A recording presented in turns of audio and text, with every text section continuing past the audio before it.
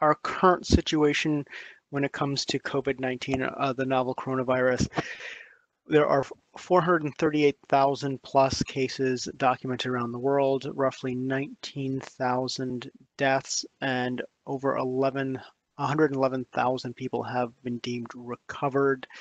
The uh, coronavirus has been detected in 171 countries around the world.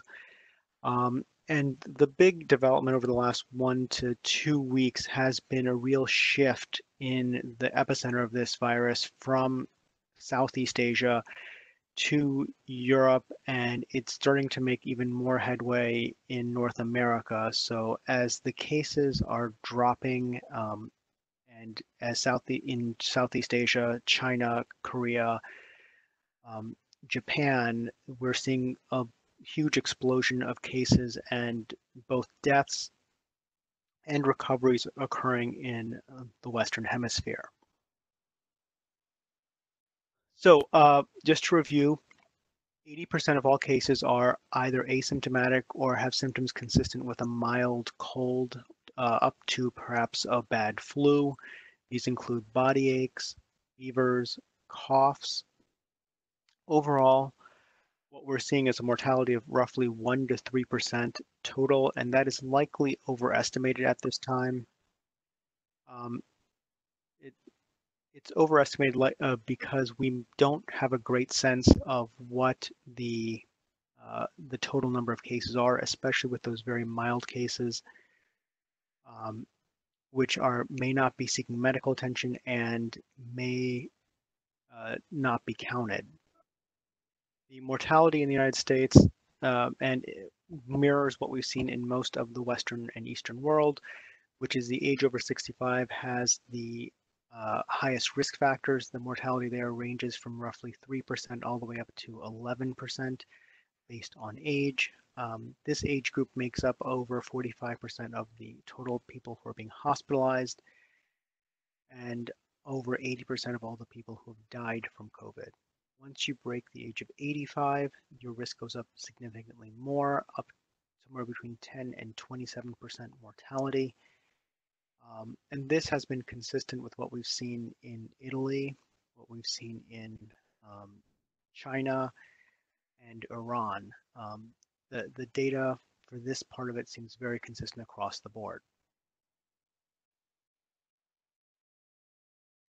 COVID is uh, it is in the coronavirus family, which includes a large number of cough and cold viruses, but has also included uh, SARS and MERS-CoV over the last few years, which have made news. We have sustained person-to-person transmission across the world right now, uh, and it is spread primarily by droplets. So when someone who's infected coughs or sneezes, they produce this cloud of droplets which have uh, virus particles in it, when someone walks through that particle, those particles come into contact with their mouth, their nose, their eyes, and um, someone else can become infected in this manner. How sick that person will get really varies from person to person. Some people are having, once again, very mild symptoms, coughs, fevers, shortness of breath. This um, but it can extend all the way up to becoming very severe with pneumonia, kidney failure, um, and death. That is happening in a very small percentage of the population. Um, but it is important to note that those who are at risk for the worst outcomes are those over the age of 60 who have chronic conditions, primarily heart, lung, blood pressure issues, weak immune systems.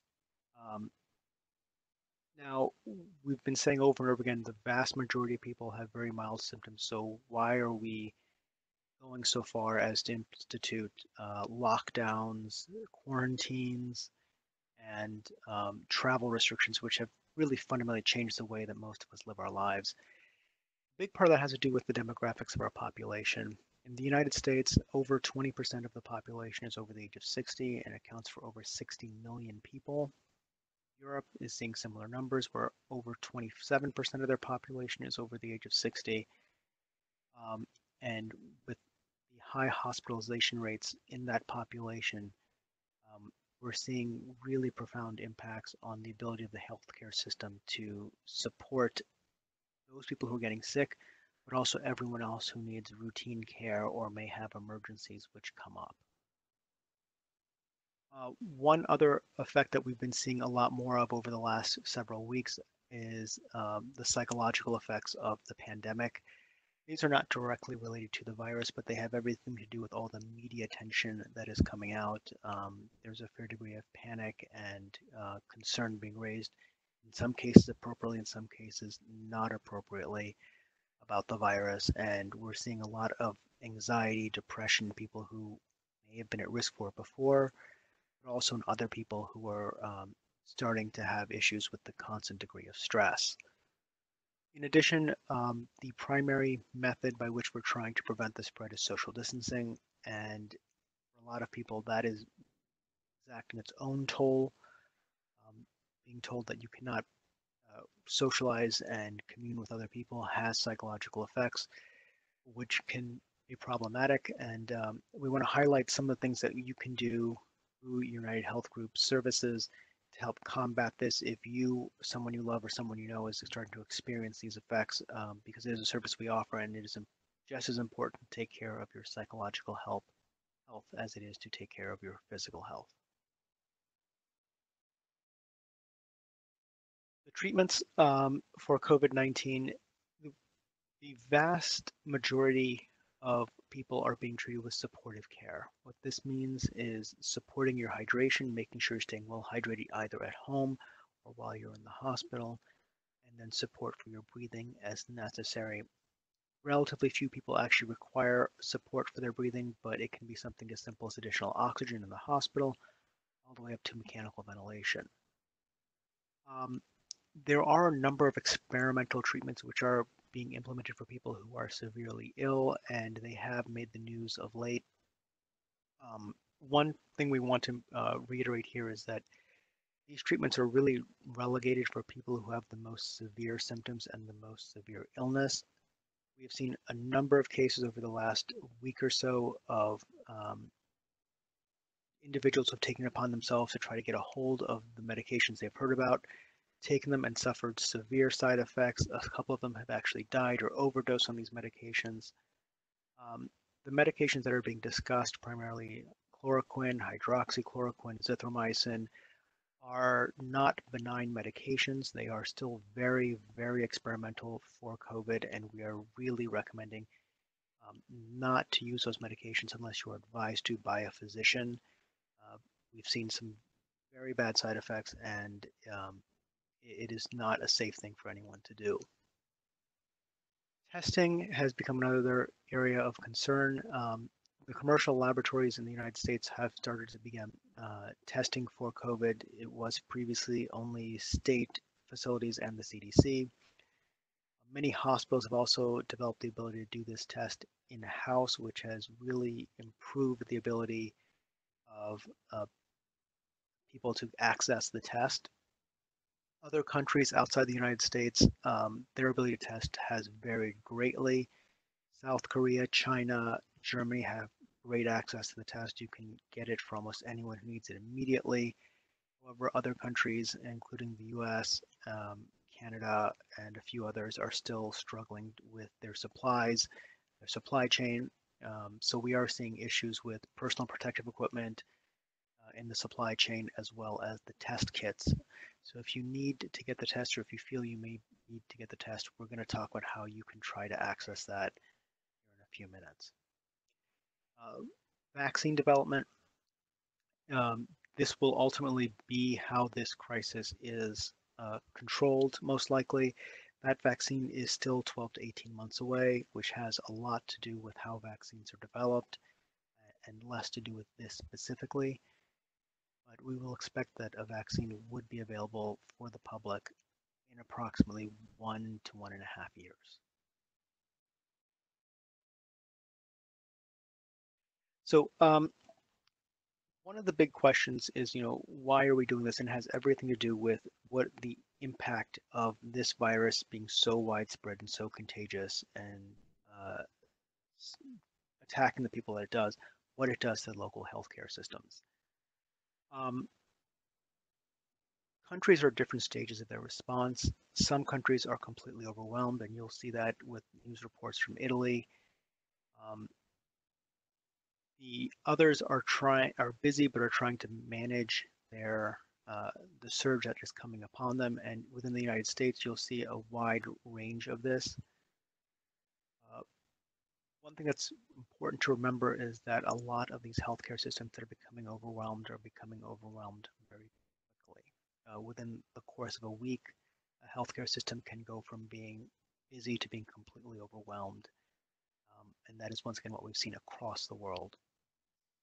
As a result, most healthcare systems are steering all of their resources into managing this condition alone. And we're seeing uh, non-urgent, routine, and elective procedures and um, care being deferred or rescheduled.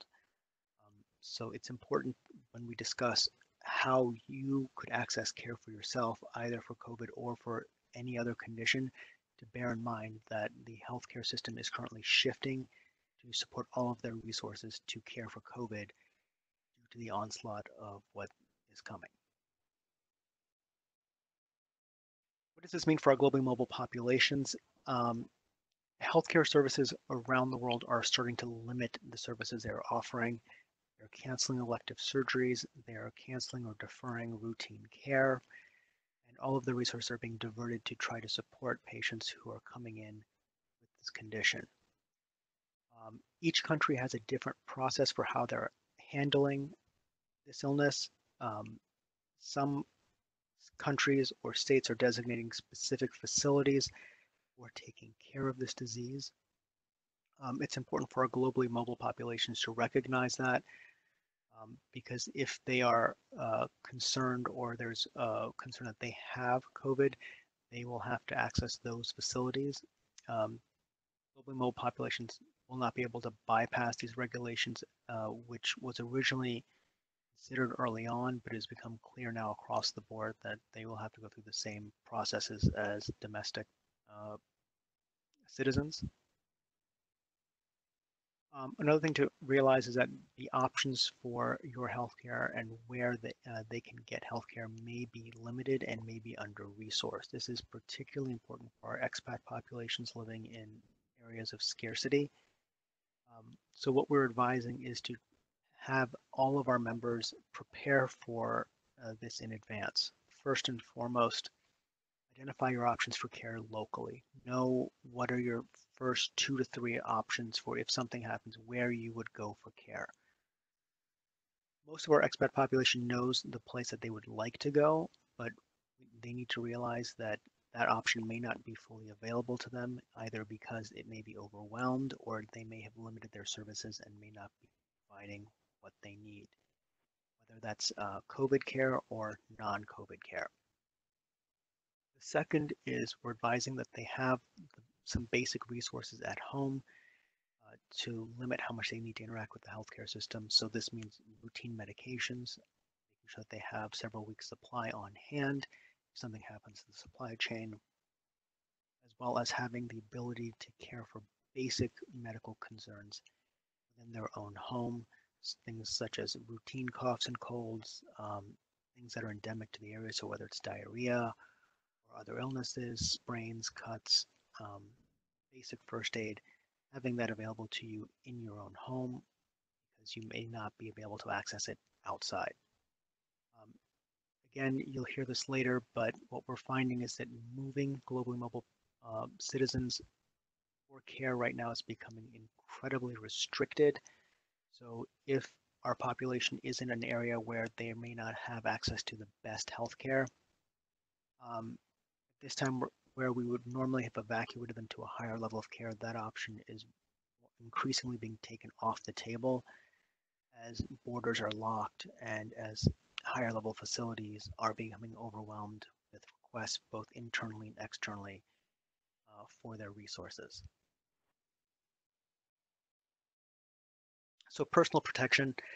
Uh, the answer to this in epidemic in the short term is not going to be about a pill or a shot, but it's going to be about how do we keep each other and ourselves safe. Uh, at this point, I do want to just point out uh, if anyone wants to understand social distancing, how it works and why it's important, I encourage you to Google Washington Post Corona Simulator. Uh, it's a really great article which came out last week and it demonstrates graphically why social distancing is important and how it works. Um, in the meantime, though, what we want everyone to do is practice good hygiene uh, and protect yourself. Washing your hands frequently with soap and water for at least 20 seconds or using an alcohol-based sanitizer of at least 60% alcohol. Avoid touching your eyes, nose, and mouth. Uh, avoid close contact with people who are sick, maintaining a distance of at least two meters or six feet.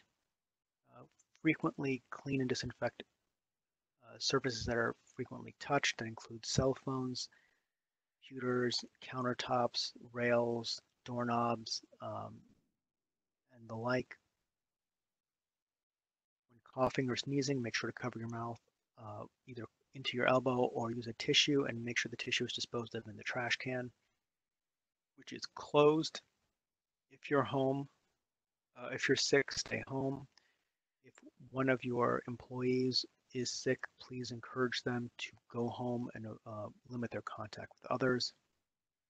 Uh, foregoing non-essential travel, which has become a standard uh, recommendation across all the health agencies, and following uh, rules for social distancing.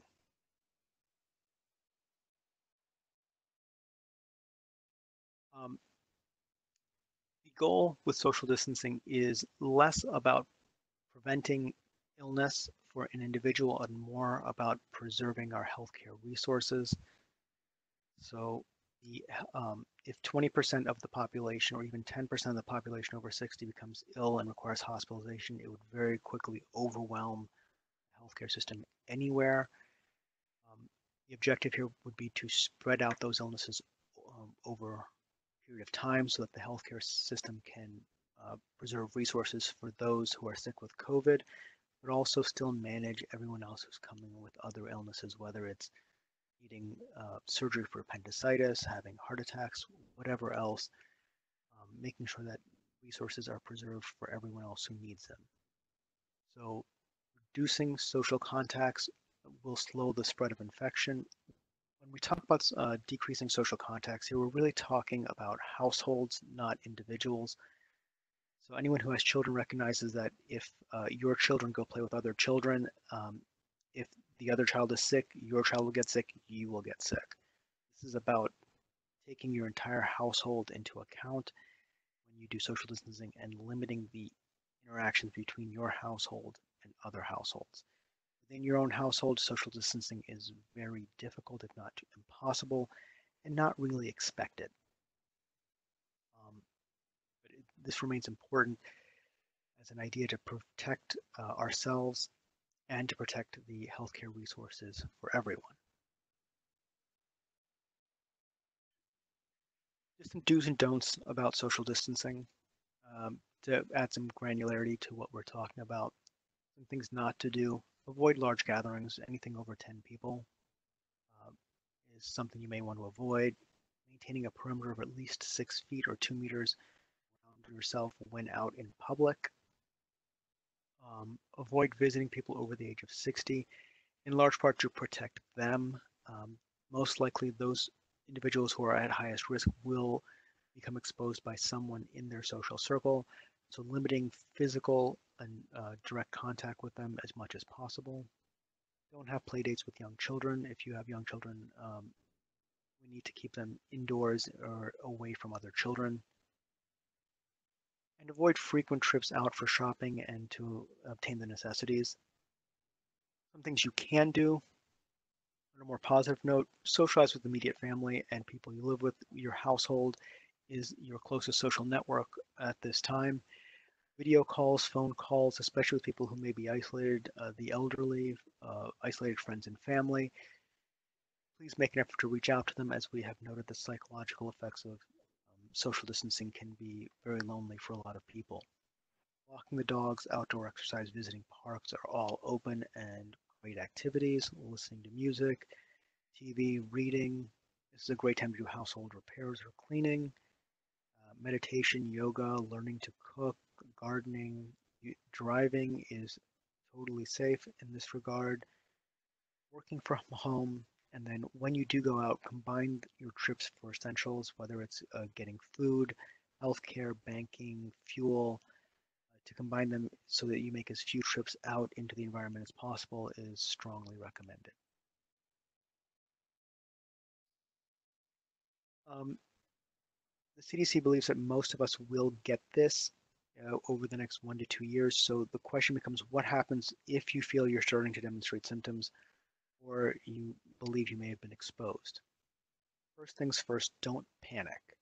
As we said, the vast majority of people will have very mild illness um, and will not have bad outcomes. Avoid public places, including public transportation. Stay home and self quarantine. Avoid contact with people who are over the age of 60 or might be at risk for other reasons.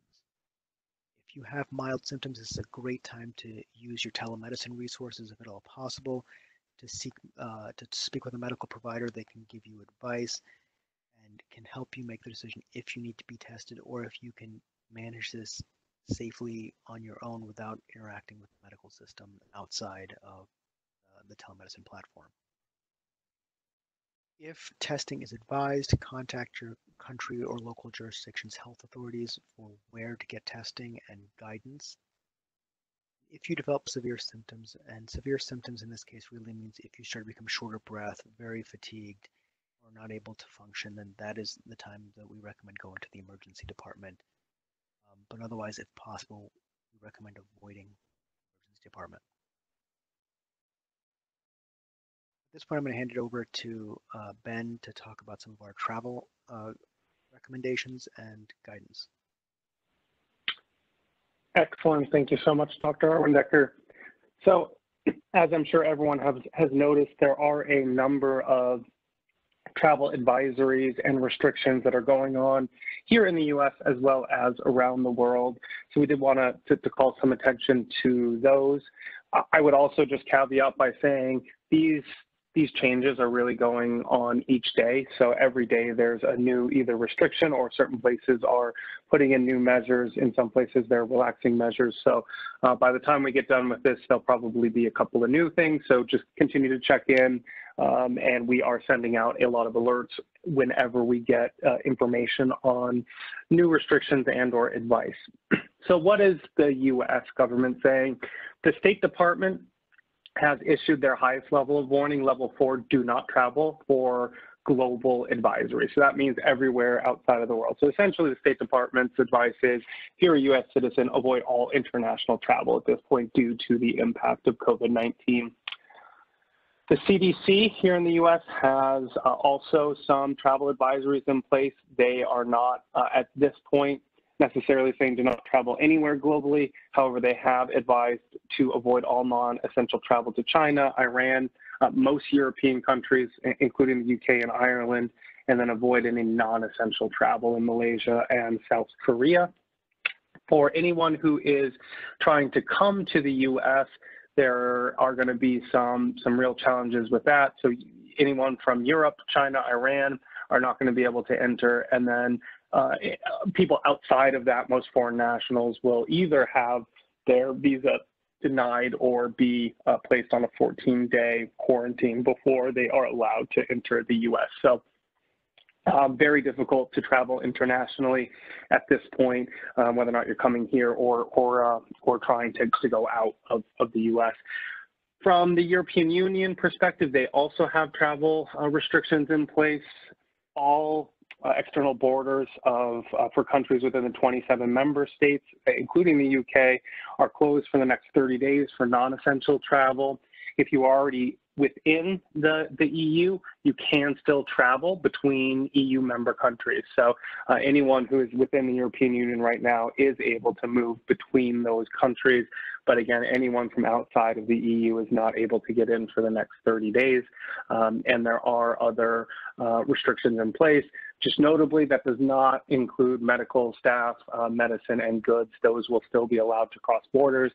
so that they can continue to to uh, to provide the healthcare system in those in those countries with the resources that they need. So there are a couple of of uh, exceptions there when it relates to the medical uh, medical field.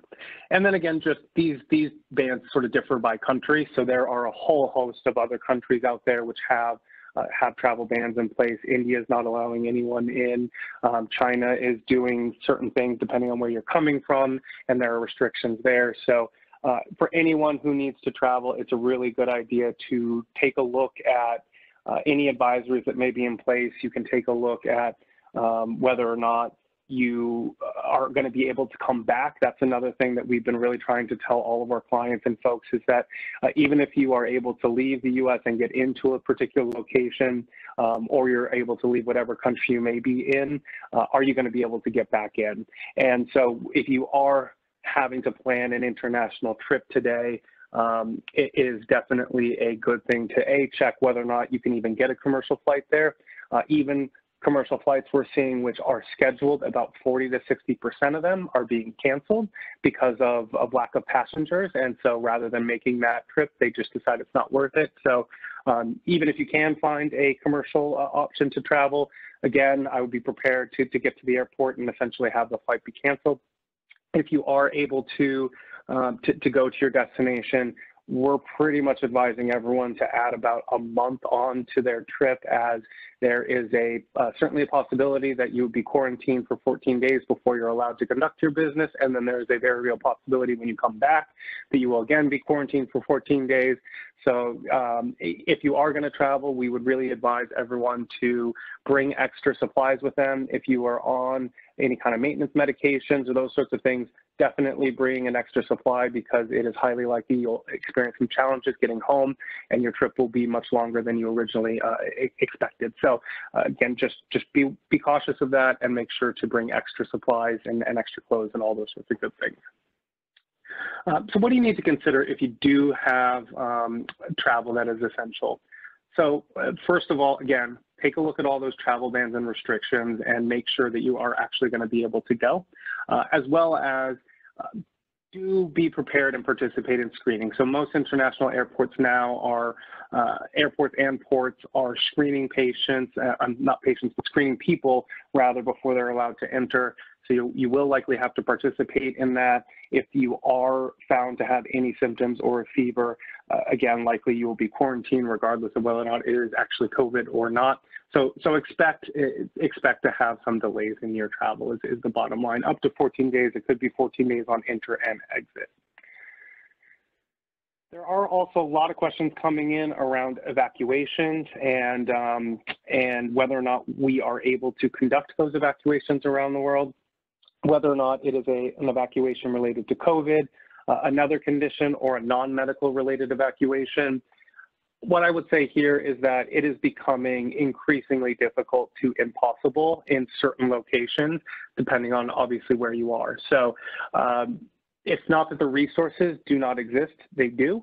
Uh, but right now, most governments around the world are not really allowing for a lot of a lot of movement between their borders, and that's what we would need to be coordinating. So, coordinating with local, federal, and uh, and the um, and other country governments and health authorities as to whether or not that particular individual is going to be allowed. The other thing that I would mention around evacuations is that uh, some of the typical locations that we would evacuate to are are being overburdened right now with with treating COVID related issues. And so some of those locations really would not be a great place to go anyway, and certainly would probably not be accepting uh, other patients. So lots of things to consider there. I, I, it's never impossible, but there are so many restrictions in place right now that it is very difficult to actually go ahead and do evacuations at this point.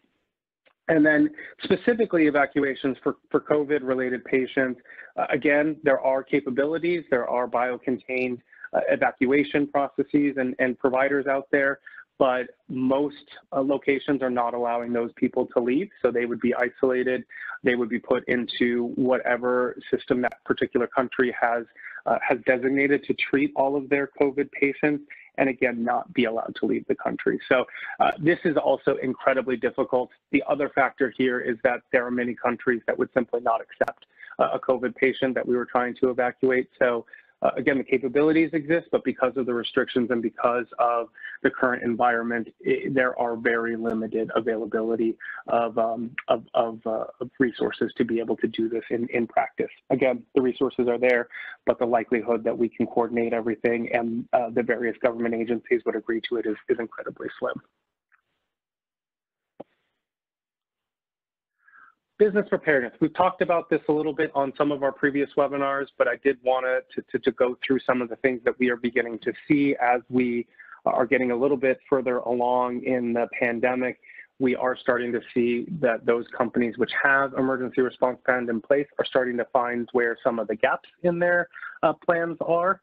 And, and certainly it's a good opportunity to, to fill those gaps. So we are getting a lot of questions around uh, specifically locating employees around the world. That's something that is, that is, is still causing some challenges for certain organizations, as well as being able to communicate with, with employees. So again, um, if, if any of those are, are happening, it's, it's excellent time to sort of think about how we can solve those. And certainly we are here to help uh, in, in, in, those sorts of areas, as well as we are finding that a lot of, of organizations across the country have started to discover that, that some of their insurance coverages that were put in place actually have specific exclusions for pandemic events. And these could be uh, travel related policies, medical, uh, medical travel policies, as well as, as uh, business interruption policies. So there are a fair amount of questions that we are getting today around specifically exclusions for pandemic events. None of our policies have those exclusions, so we are still writing new policies. But again, it's, it's an area that if you have experienced that and, and need some help, we're happy to provide some information for you. Um, and there are options available on the market which do not have those sorts of exclusions. Another thing, just in terms of overall preparedness, uh, there we, we just want to sort of highlight keeping employees healthy and some of the things that, that we can do. Um, first of all, work from home and flexible schedules. A lot of, of companies today have switched to a work at home model. Those provide obviously their own challenges, but having that flexibility and really making sure that there is a, an ability for people, especially who may be sick or symptomatic, to stay home. Uh, and again, if people can work from home, this is an excellent time to go ahead and do that. Providing uh, appropriate workspace if there are not the ability to work at home is another thing that uh, you can do, again, if people were closer together, trying to spread out that office space. If there are certain employees that are able to work from home and others that can't, allowing those that can to go home and, and do their job from home would allow for some more distance within the offices as well as just promoting healthy habits. So making sure people are still getting exercise, they're drinking enough water, um, washing their hands, all of those sorts of things will be very, very helpful. And then really be aware of the psychological effects of the crisis. So beyond just the fact that uh, there, are, there is so much hype around COVID-19 right now. Um, again, as Dr. Arwin Decker mentioned, the psychological effect and the stress that this cause can, can be very overwhelming for certain people, for people that are not used to working from home and are now uh, essentially being asked to either shelter in place or, or limit their social contact very, very greatly. It can have some pretty profound effects psychologically. So we just want to make sure that we call that out, that it's, you know, the only challenge here is certainly not just COVID related. There are a host of other issues that come to how we're responding to this and the impact it's had to, to our uh, all of our lives, both personal and professional. And then we will say this uh, again, but obtain information from reliable sources. There's a lot of information out there from the media, um, online, which are either promoting uh, just flat out incorrect information or inaccurate information or misleading information. And so we really encourage you to get, get information from, from reliable sources.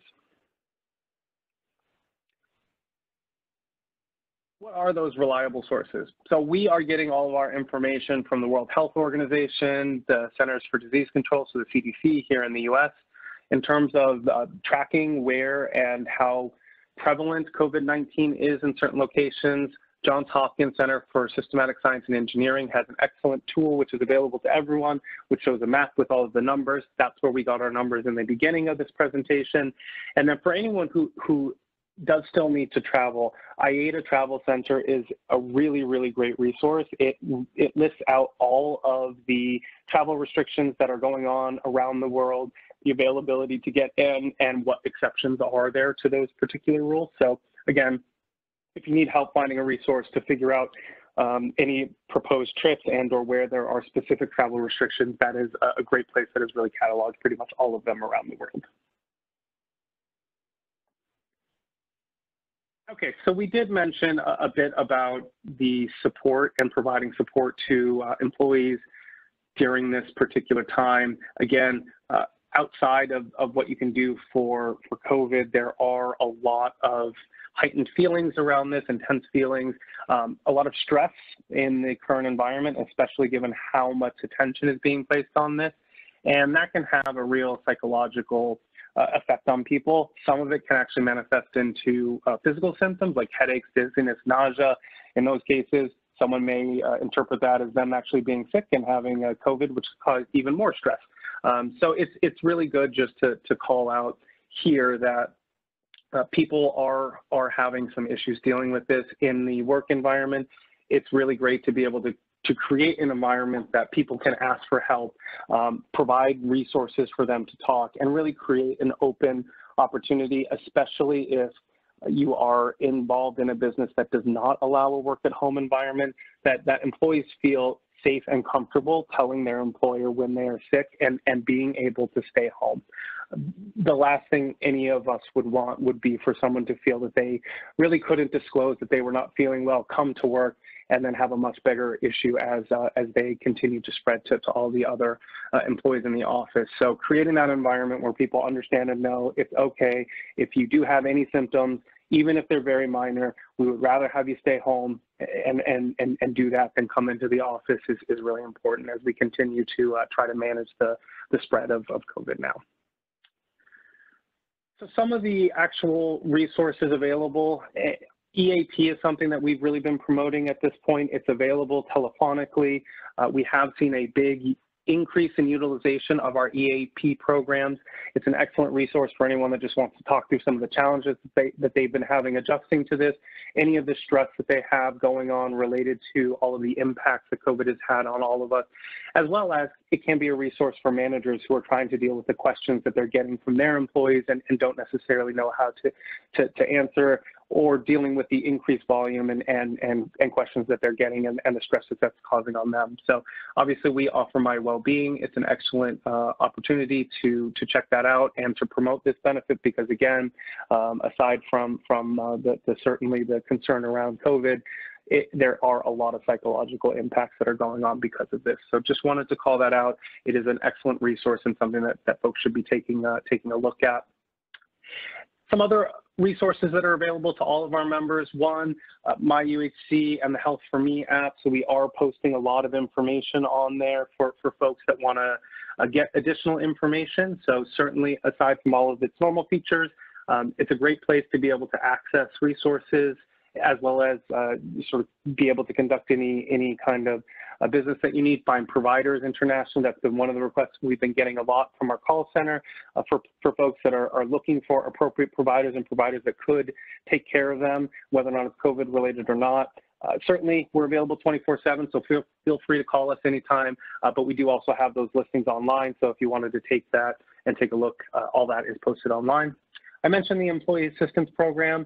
Again, very good opportunity to promote that because uh, there are a lot of folks that are, are looking and grappling with this and looking for resources. So that's an excellent one. Of course, it's all virtual, so it, it fits in with our self-distancing uh, guidelines and, uh, and is, is, is um, again, an excellent opportunity.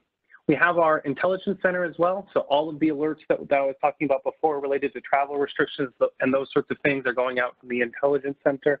Uh, we do also have medical information as well as security information and those sorts of things. So again, for anyone that does have essential travel and really needs to get information around what's going on in the particular location that they are, um, certainly there are, are, resources around what's going on with COVID, but um, there are still other issues out there, right? It's not the only thing. There are other medical issues that are still present. There are still security challenges and those sorts of things. So um, good opportunity to check that out, as well as you can sign up for our alerts. We will keep you up to date on all the latest information. It will go automatically to you and, and you'll know any kind of changes and or uh, a new, new information that we are sending out final two things here, virtual visits and my well-being. So My Wellbeing is, a, is another opportunity for help in terms of A, relieving stress and maintaining uh, activity during this time. That can be a challenge for certain folks. It's all virtual as well, so good opportunity to check out the resources are there and, and be able to promote just a healthy lifestyle for employees and then virtual visits and telemedicine. This is another question we've gotten quite a bit and would just say that especially if you are having a, any kind of mild illness, virtual visits is an excellent opportunity now. Um, we would certainly not recommend just showing up to either an emergency room or your regular physician's office in this current environment for several reasons. But first of all, if you don't have COVID and you go to the emergency room, for example, uh, that is where you probably have the greatest opportunity to actually get it. Um, so you could show up with something completely unrelated and, and because you are in that environment, you now uh, have been exposed and, and, and have a high likelihood of contracting it. But also, uh, again, right now the, the health systems are already being strained. So if you have just a, a mild illness, getting it checked out via virtual visits is an excellent first step. They can advise you whether or not they believe the symptoms are, are going to be um, leading you to actually seeking physical care, but if not, um, certainly can help out. And then same thing for your doctors, uh, regular doctor. If you are sick and need to see them, we would really encourage folks to call first, um, let them know your symptoms.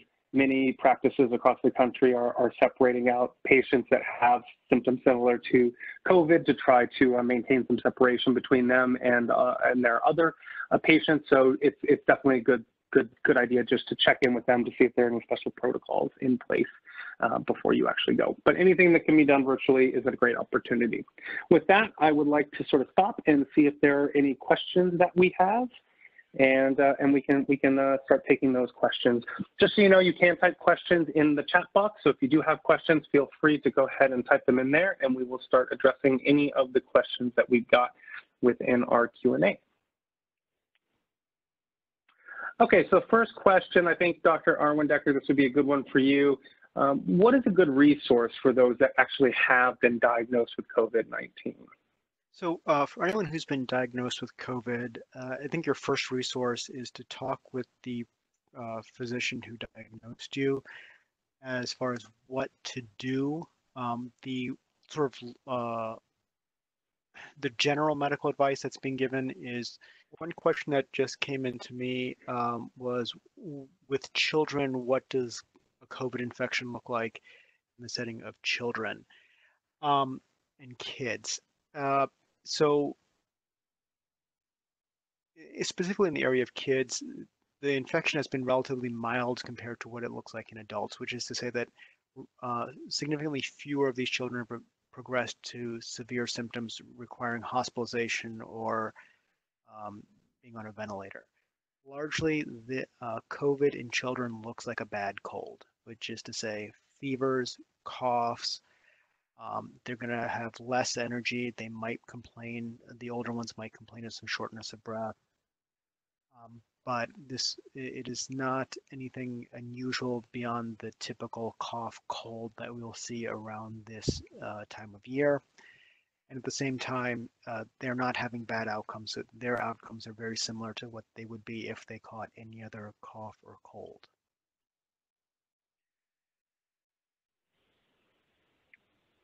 Excellent. Uh, another question that we've seen a bunch of people submit is whether or not this presentation is going to be available after the presentation, uh, after the webinar. It will be. Um, so after this event, everyone will will have access to this. I believe it will be posted on our um, on our site, and you should all uh, be able to access a copy of this as well as it is being recorded. So you can pull down not just the presentation itself, but there will be a recording of the, uh, the webinar in its entirety, and I believe we are posting that to our YouTube channel, uh, so you can pull it from there. As well as we may be posting it online, but I'll have to bring in Aaron uh, or Rachel for that one to confirm.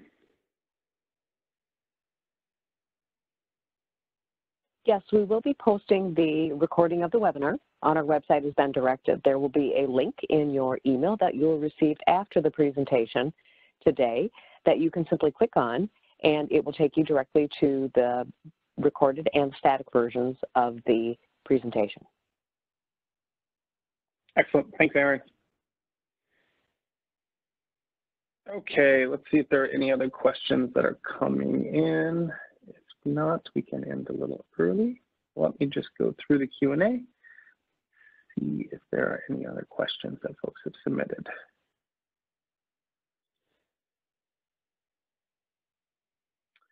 So I don't see any other questions. So I will just close by saying thank you to everyone for joining us today. Certainly, if you have any